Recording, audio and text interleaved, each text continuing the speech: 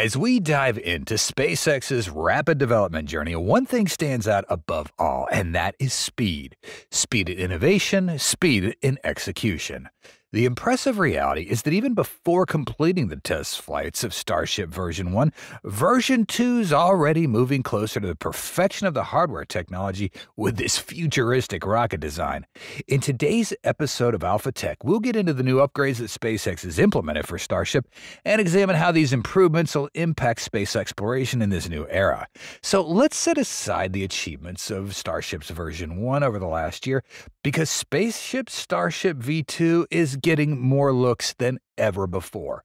Recently, in a surprising move, Ship 33 was brought out and underwent two full cryogenic proof tests at Massey. After completing these tests and providing valuable data for SpaceX's engineering team, Ship 33 returned to the production facility on November 2nd for analysis. The movement and testing of the ship are noteworthy, but what initially grabs our attention and piques our curiosity are the visible upgrades on this V2. The updated design represents a major step forward in SpaceX's goal of making Starship the most powerful powerful reusable launch vehicle on the planet. Called Starship Block 2, Ship 33 includes many design improvements over previous Block 1 versions. While Block 1 ships were focused on early testing and proof of concept missions, Block 2 starships use lessons learned from earlier flights and introduced new hardware configurations. These changes aim to increase efficiency, reliability, and compatibility with updated booster models.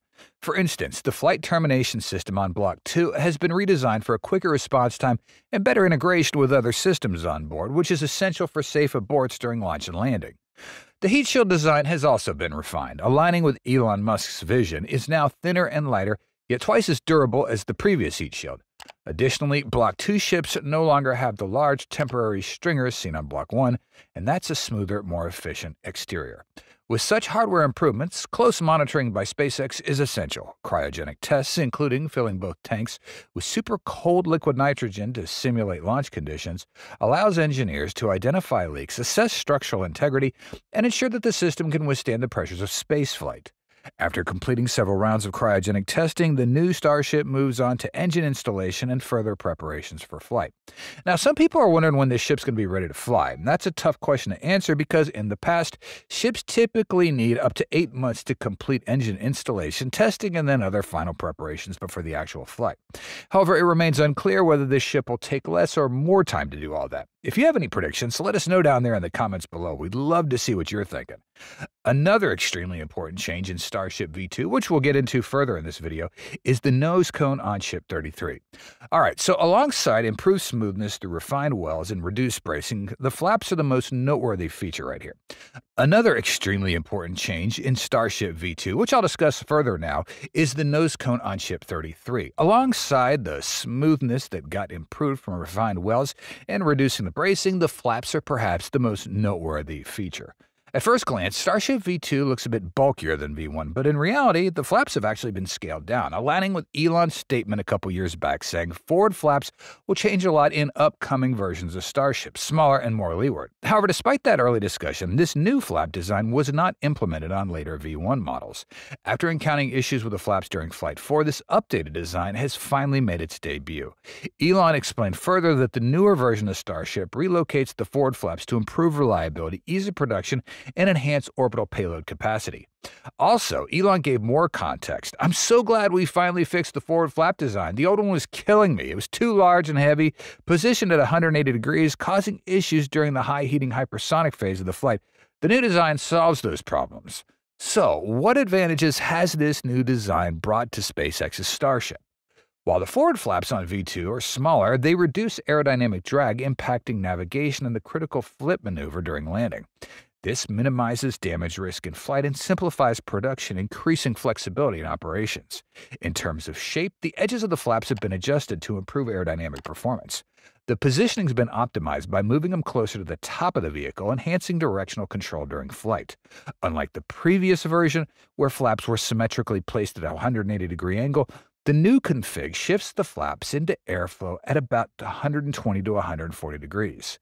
This repositioning gives better protection during re-entry, reducing the likelihood of damage as seen in Flight 4. These modifications are expected to improve the efficiency of one of Starship's most sensitive systems, making future flights safer and more predictable. If SpaceX successfully achieves efficient operation of the upgrades in V2, we will not doubt the complete reusability of Starship. So, what difference would it make in the industry if SpaceX hits full reusability with Starship? Remember, NASA's space shuttle also designed to be fully reusable, but the key here is the turnaround time and costs associated with each launch.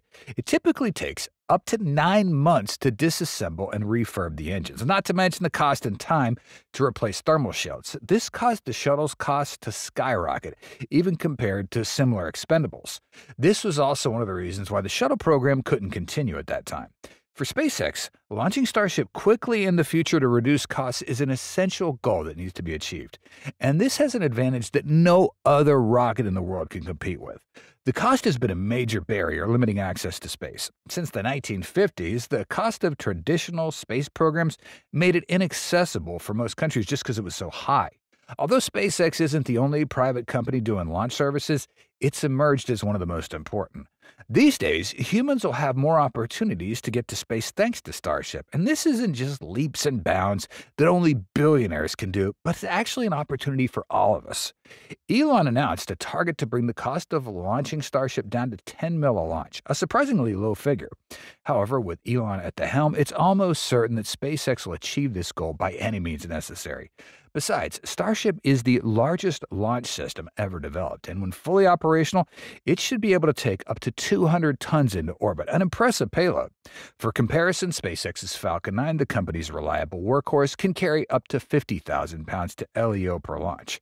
This difference enables significant economies of scale as bigger payloads can get launched at once, which allows customer companies to save on payload preparation costs.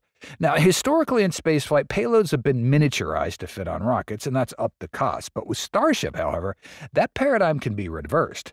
Instead of spending heavily to shrink and miniaturize technology, customers can use larger, more standard components, reducing development costs and Starship offers the flexibility to use off-the-shelf solutions without the expense and limitations of miniaturization.